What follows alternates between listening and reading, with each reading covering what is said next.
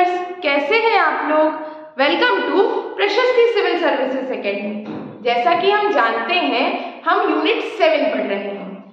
कल हमने unit seven का टॉपिक शिफ्ट शुरू किया था, जिसका पहला टॉपिक सेल हम कंप्लीट कर चुके हैं। आपको उस लेक्चर की लिंक डिस्क्रिप्शन बॉक्स में मिल जाएगी।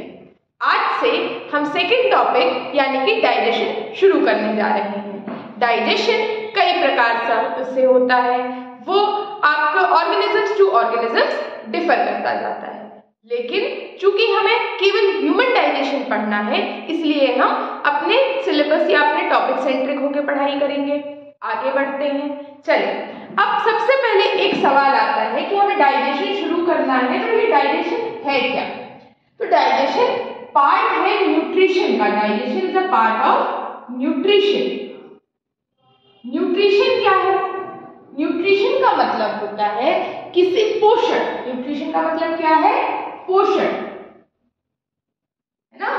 तो यदि हम न्यूट्रिशन की बात करें तो इसकी डेफिनेशन क्या बनती है? न्यूट्रिशन का मतलब है टेकिंग ऑफ़ फ़ूड खाना, हमें खाना, जो हम खाना खा रहे हैं, उसको सिंपल एब्जॉर्बेबल फॉर्म में कन्वर्ट करना न्यूट्रिशन होता है। जो हमने खाना खाया है, वह एक सिंपल ऑर्गेनिज्म सिंपल आपके न्यूट्रिशन सिंपल पार्टिकल्स में कन्वर्ट होना ही न्यूट्रिशन कहलाता है।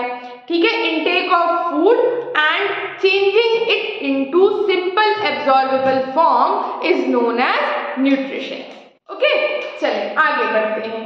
अब न्यूट्रिशन जब हम ह्यूमन में बात करते हैं या एनिमल में बात करते हैं तो it is a holozoic type of nutrition holozoic कैसा है? होलोजोइक न्यूट्रिशन होता है।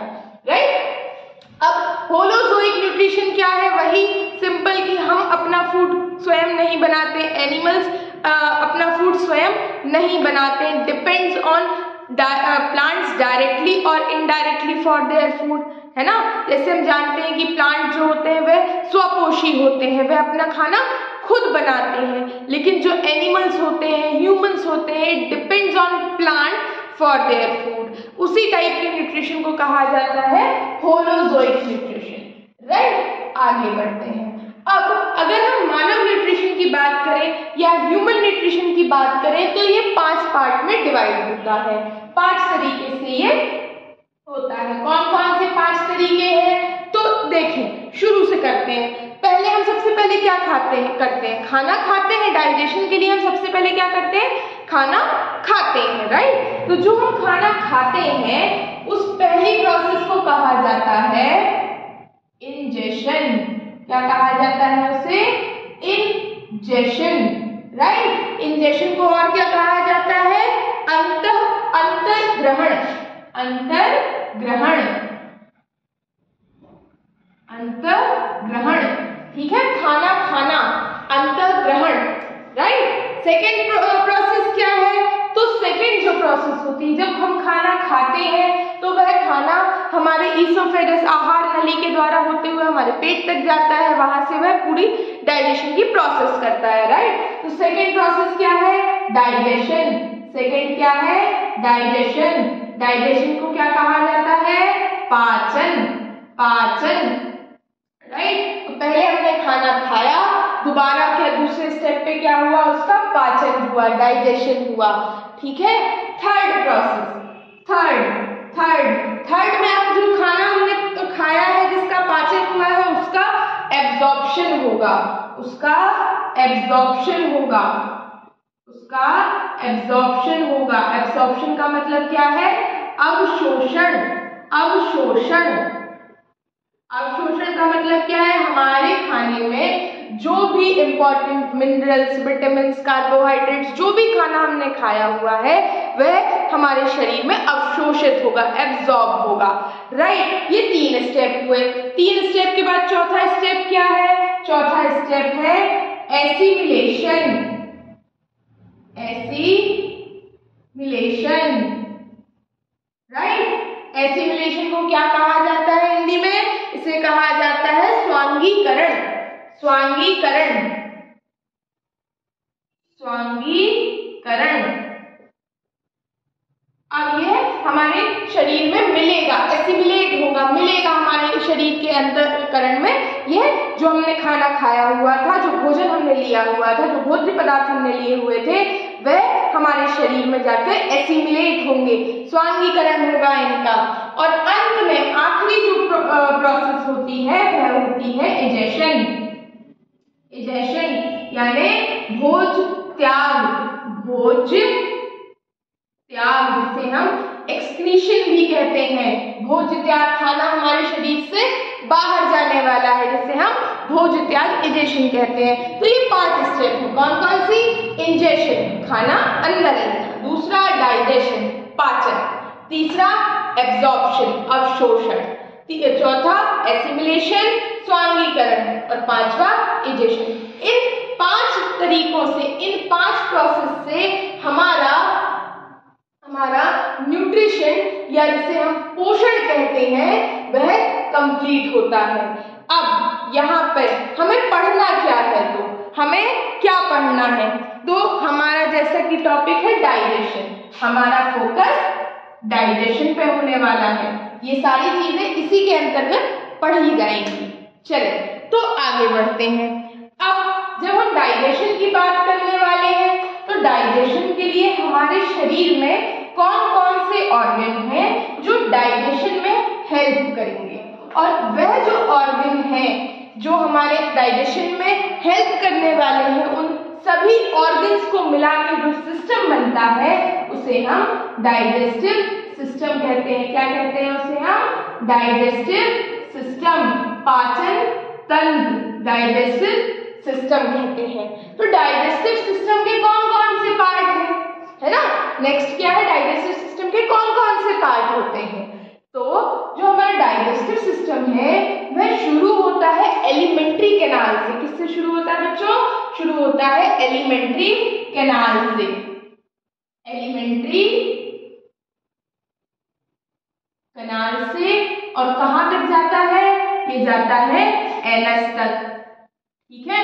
एलिमेंट्री कैनाल एक 9 मीटर आठ से नौ मीटर लंबी एक कैनाल है जो पाई जाती है, जिसमें मुख माउथ से लेकर एनस तक सारी चीज़ें आती हैं। या इसको हम और अच्छे से करें तो ये कह सकते हैं कि जो डाइजेस्टिव सिस्टम है, वो माउथ से एनस तक है, और ये पूरा पार्ट किसका है?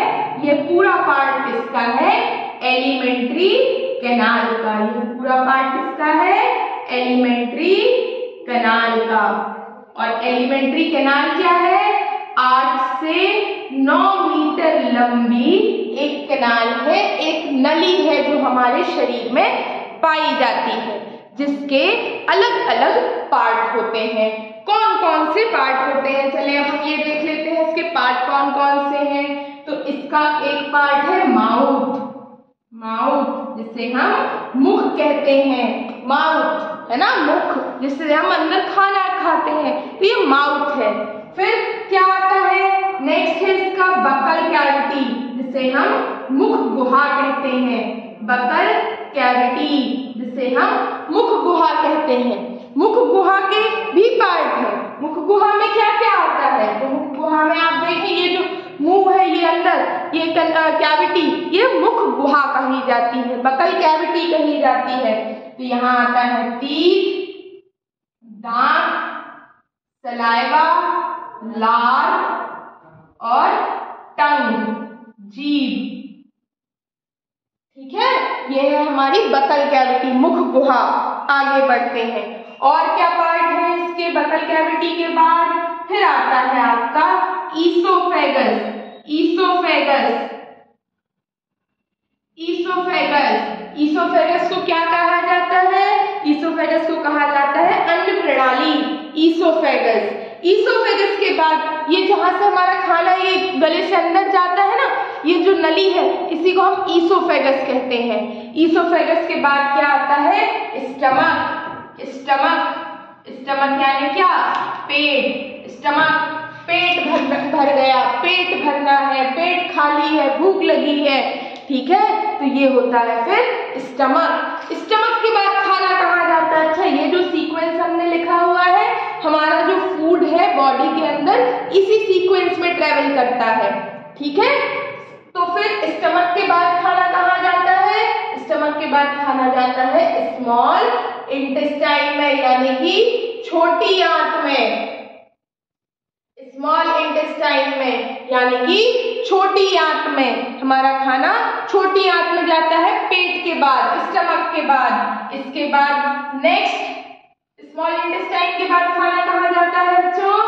लार्ज इंटेस्टाइन में। लार्ज इंटेस्टाइन यानी बड़ी आंत। और बड़ी आंत के बाद संपूर्ण पाचन होके हमारा खाना एनस यानी कि गुदा के द्वारा बाहर निकल जाता है। एनस यानी गुदा के द्वारा हमारा खाना बाहर निकल जाता है, जिसे हम इजेशन कहते हैं। ठीक है? तो इस तरीके से हमारा डाइजेस्टिव सिस्टम डिवाइडेड होता है। इसके आगे हम अपने नेक्स्ट लेक्चर में देखेंगे, जहाँ पर हम इन्हीं सारे जो ऑर्गेनिज्म ऑर्गन से इनको डिटेल में पढ़ेंगे। अगर आपको वीडियो पसंद आया है तो please like share and subscribe thank you जय हिंद